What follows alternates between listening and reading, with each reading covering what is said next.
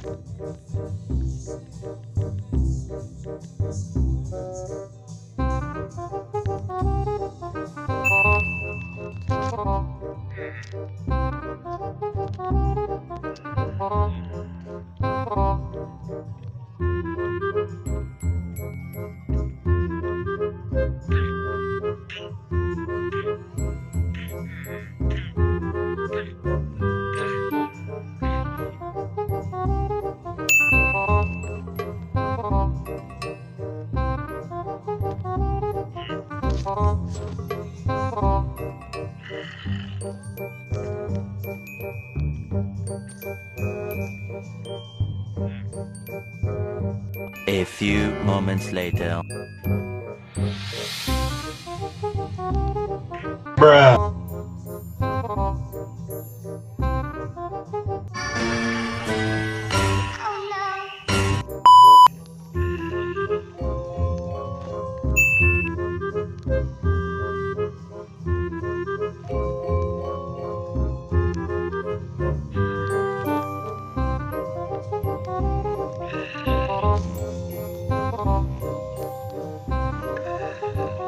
a great time.